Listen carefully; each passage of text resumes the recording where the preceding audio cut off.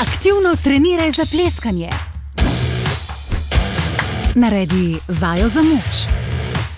Dviguj 15 litrov jupola in na to z lahkoto prepleskaj stanovanje.